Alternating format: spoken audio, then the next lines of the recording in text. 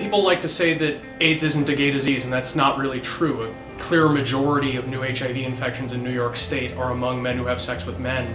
I think that greater awareness of the risks that we face in our community are the key to helping stop the spread of the epidemic.